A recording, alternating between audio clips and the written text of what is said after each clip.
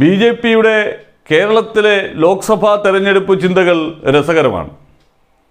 ശശി തരൂർ തിരുവനന്തപുരത്ത് മത്സരിക്കുന്നില്ലെങ്കിൽ സുരേഷ് ഗോപിയെ മത്സരിപ്പിക്കാം. അടൂർ പ്രകാശ് ആറ്റിങ്ങലിൽ മത്സരിക്കുന്നില്ലെങ്കിൽ വി മുരളീധരനെ അവിടെ മത്സരിപ്പിക്കാം. തൃശ്ശൂരിൽ ടി എൻ പ്രതാപൻ മത്സരിക്കുന്നില്ലെങ്കിൽ രാജീവ് ചന്ദ്രശേഖരനെ അവിടെ മത്സരിപ്പിക്കാം. ഇങ്ങനെയൊക്കെയാണ് ബി ജെ പി കണക്കുകൂട്ടലുകൾ നടത്തുന്നത്. രാഷ്ട്രീയമായി ആരെതിരാളികളായി വന്നാലും അവരെയൊക്കെ തോൽപ്പിക്കാൻ കഴിയുന്ന തരത്തിലുള്ള വ്യക്തിപ്രഭാവമുള്ള രാഷ്ട്രീയ ചിന്തകൾ മുന്നോട്ട് വയ്ക്കാൻ കഴിയുന്ന ആളുകളെ അവതരിപ്പിക്കാൻ സാധിക്കാതെ പോകുന്നുണ്ട്. ബി ജെ പിയെ സംബന്ധിച്ചിടത്തോളം എന്നുള്ളത് കേരളത്തിൽ അവർക്ക് തിരിച്ചടിയേകുന്ന ഒരു പ്രധാനപ്പെട്ട ഘടകമാണ്. അതിനിയും ആവർത്തിക്കും. ഇപ്പോൾ ശശി തരൂർ തിരുവനന്തപുരത്ത് നിന്ന് മാറിയാൽ സുരേഷ് ഗോപിയെ കൊണ്ടുവന്ന് നിർത്തിയാൽ ഉടനെ ജയിക്കും എന്ന് ഏത് മൂഢസ്വർഗത്തിലിരുന്നാണ് ബി ജെ പി കണക്ക് കൂട്ടുന്നതെന്ന് മനസ്സിലാകുന്നില്ല. അടൂർ പ്രകാശ് ഇല്ലെങ്കിൽ ആറ്റിങ്ങലിൽ വി മുരളീധരൻ ജയിച്ചു കയറും എന്ന് ബി ജെ പി കണക്ക് കൂട്ടുന്നത് എങ്ങനെയെന്ന് മനസ്സിലാകുന്നില്ല. ടി എൻ പ്രതാപൻ ഇല്ലെങ്കിൽ തൃശൂരിൽ രാജീവ് ചന്ദ്രശേഖർ വന്നാൽ ജയിച്ചു കളയുമെന്ന് ഇവർ എങ്ങനെയാണ് ചിന്തിച്ചു കൂട്ടുന്നത് എന്ന് മനസ്സിലാകുന്നില്ല. ശശി തരൂർ എന്ന വ്യക്തിയുടെ മാത്രം മികവല്ലല്ലോ തിരുവനന്തപുരത്ത് ഉണ്ടാകുന്നത്. അടൂർ പ്രകാശിന്റെ മാത്രം മികവല്ലല്ലോ ആറ്റിങ്ങലിൽ ഉണ്ടാകുന്നത്. ടി എൻ പ്രതാപന്റെ മാത്രം മികവല്ലല്ലോ തൃശ്ശൂരിൽ ഉണ്ടാകുന്നത്. അവിടെയൊക്കെ ചർച്ച ചെയ്യപ്പെടുന്ന രാഷ്ട്രീയമുണ്ട്. ആ രാഷ്ട്രീയത്തിൽ കോൺഗ്രസും ബി ജെ പിയും തമ്മിലുള്ള നേരിട്ട് ഏറ്റുമുട്ടലൊന്നുമല്ല ഈ ഇടങ്ങളിലൊന്നും നടന്നത്. തിരുവനന്തപുരത്ത് മാത്രമാണ് അത് സംഭവിച്ചത്.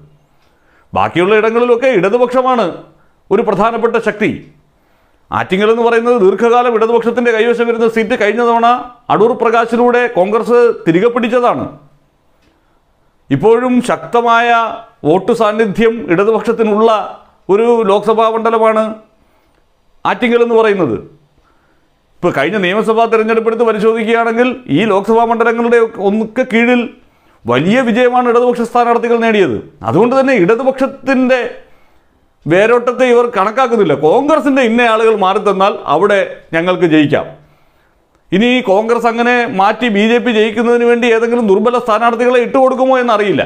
ഇനി അങ്ങനെ എങ്ങാനും വല്ല കരാറും ഉണ്ടാക്കി വെച്ചിട്ട് ബി ജെ പിക്കാർക്ക് ജയിക്കാൻ വേണ്ടി ഞങ്ങൾ അടൂർ പ്രകാശിനെയും ശശി തരൂരിനെയും പ്രതാപനെയും ഒക്കെ മാറ്റിത്തരാം എന്നുള്ള ചിന്തയാണോ ഉണ്ടായിരിക്കുന്നത് എന്നറിയില്ല. പക്ഷേ അങ്ങനെ മാറ്റിയാലും അങ്ങനെ മാറിയാലും തിരുവനന്തപുരത്തായാലും ആറ്റിങ്ങലിലായാലും തൃശ്ശൂരിലായാലും ഈ പറയുന്ന പേര് പറയുന്ന സ്ഥാനാർത്ഥികൾ വന്നു നിന്നു എന്നുള്ളത് കൊണ്ട് ബി ജെ പിയുടെ ഇതുവരെയുള്ള ആ രാഷ്ട്രീയത്തെയൊക്കെ മറന്ന് അവരുടെ ആ ആട്ടിൻതോളിനെയൊക്കെ അങ്ങോട്ട് സ്നേഹിക്കാൻ തുടങ്ങി ആളുകൾ വോട്ട് ചെയ്ത് വിജയിപ്പിച്ച് കളയും എന്ന് ചിന്തിക്കുന്നവർ.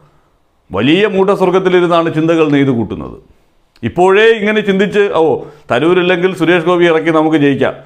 അവിടെ മുരളീധരൻജിയെ ഇറക്കി ജയിക്കാം. മുരളീധരൻജിയൊക്കെ വാ തുറന്നാലേ കേരളത്തിനെതിരായി പറയുന്ന ആളുകളാണ്. എന്നിട്ട് ആറ്റിങ്ങലിലൊക്കെ ചെന്നങ്ങ് നിന്നു കൊടുക്കണം. കഴിഞ്ഞ തവണ ശോഭാ സുരേന്ദ്രൻ നേടിയ വോട്ട് പോലും നേടാൻ സാധിക്കാതെ ദയനീയമായി തിരിഞ്ഞോടുന്ന കാഴ്ച നമുക്ക് കാണേണ്ടി വരും.